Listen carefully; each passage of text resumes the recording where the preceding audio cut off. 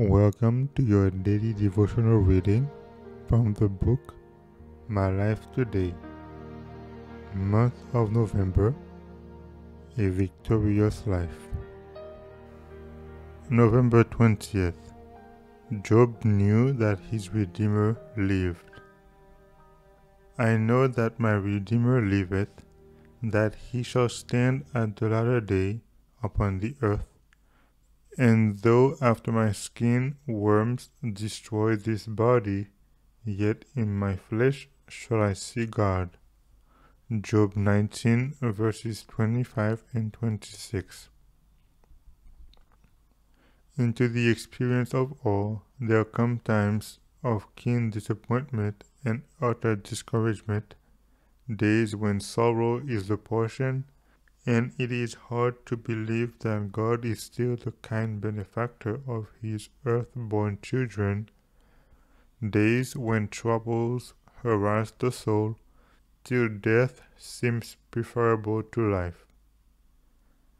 It is then that many lose their hold on God and are brought into the slavery of doubt, the bondage of unbelief.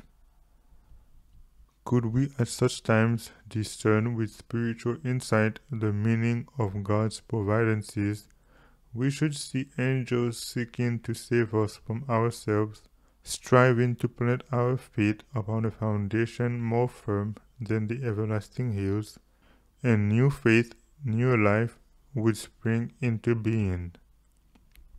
The faithful Job in the days in the day of his affliction and darkness declared, My soul chooseth death rather than life. I loathe it, I would not live alway. Let me alone, for my days are vanity.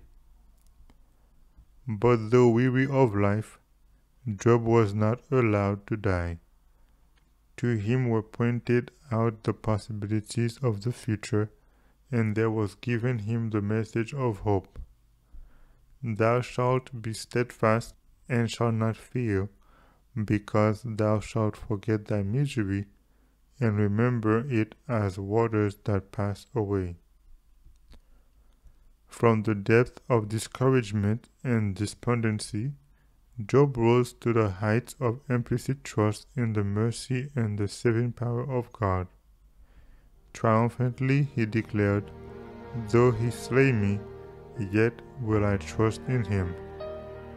A Victorious Life, November 20th.